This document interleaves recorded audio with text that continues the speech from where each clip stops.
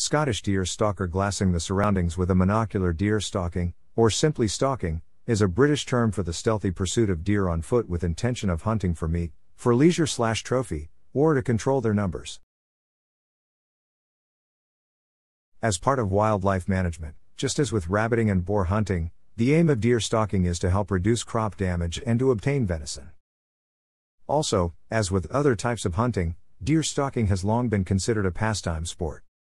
Stalked deer are commonly shot with a high powered bow or a rifle, prior to the invention of the modern centerfire rifle. Deer were stalked with the aid of a sighthound, such as the Scottish deerhound. Stalking sticks are often used to steady the aim of the rifle and to steady the binoculars when scanning the ground. The term deer hunting is used in North America to specifically describe the hunting of deer without using hunting dogs, whilst in Britain and Ireland the term generally refers to the pursuit of deer with scent hounds. With unarmed pursuers typically on horseback.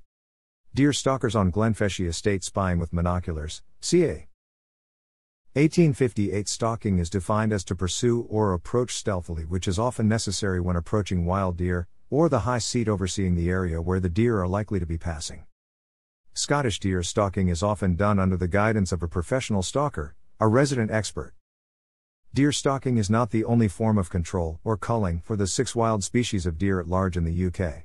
The six species are red deer, roe deer, fallow deer, Sika deer, muntjac, and Chinese water deer, and there have never been more deer at large or more widely distributed in the UK than there are now. The first two species are indigenous, new populations have appeared after deliberate releases and escapes from parks or farms. A result of this is that both red deer and roe deer are now present in several parts of Wales, a country from which both had been absent as wild animals for several centuries. Fallow deer have been at large in many parts of the UK for at least 1,000 years, added to by more recent escapes, but the other three species have solely originated from ornamental collections and deer farms. Principally from Woburn Abbey, escaping through damaged fences or sometimes by deliberate release. A number of deer escaped in southern England following damage to fences by the hurricane of 1987. Apart from the stalking of red and sika deer on the open hillsides of Scotland and the Lake District, which takes place in daylight, most deer stalking takes place in the first and last two hours of daylight, and most people never come into contact with it, although it occurs almost everywhere. The only English county without any wild deer is Middlesex, and in all other English and Scottish counties and most Welsh counties there are deer populations controlled by deer stalking. Antlers are measured by one of several scoring systems used to compare the relative merits of the heads. In Europe, including the UK, the Conseil International du Chasse system is used. In America, it is either the Boone and Crockett or Safari Club International, and in Australasia, it is the Douglas system. Professional stalker standing next to a red deer stag shot on Ardnamurchan estate in the Scottish Highlands. There are no natural predators of deer in Britain. Therefore, to maintain a stable and healthy population of deer, a cull of some of them is required each year. This is not random, however, and a deer stalker will have carried out a population count slash census to determine the age and sex profile of those to be culled. So then, during the correct deer season, barren, genetically odd, or very old animals are taken. This selection results in a balanced pyramid profile, with a few healthy older animals of each sex at the top and with increasing numbers of each sex down to the yearlings at the bottom.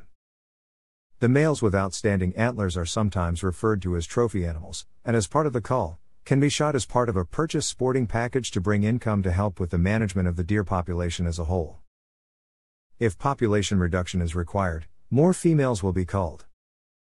If a population increase is required, only a selected few will be culled. Deer stalkers have the humane dispatch of the deer at the forefront of their mind, and there are many scenarios which prevent a shot from being taken, such as no safe backstop, no clear shot, the deer does not stop, there are other deer behind the chosen deer. The deer which is visible is out of season, it is not an appropriate animal to cull, it is a good healthy specimen which would be worth keeping to spawn future generations of healthy deer, or it is a trophy animal which could bring in much needed funds. This means that not every stalk results in a killed deer, and so it must be borne in mind that elements of selection can result in a walk with a rifle, which in itself is rewarding as much can be learned by the stalker in the process of stalking deer. Injured or sick animals are given priority at any time of year whereby a humane exemption in law allows a person to humanely kill any deer out of season or at night by any reasonable means. If it is so seriously injured or so seriously diseased that to kill it would be an act of mercy, A rifle is used that complies with the minimum requirements of the Deer Act in England and Wales or in the Deer Act 1996 in caliber and ballistic performance. Not only are there differences in the law regarding the caliber and ballistic performance between Scotland and England and Wales, there are differences in the deer open seasons too. In recent times, the use of sound moderators has greatly increased as a health and safety measure. Game of Deer Stalking, Bodleian Libraries The Deer Stalker, Northernhay Gardens, Exeter, Edward Bowring Stephens. Thanks for watching.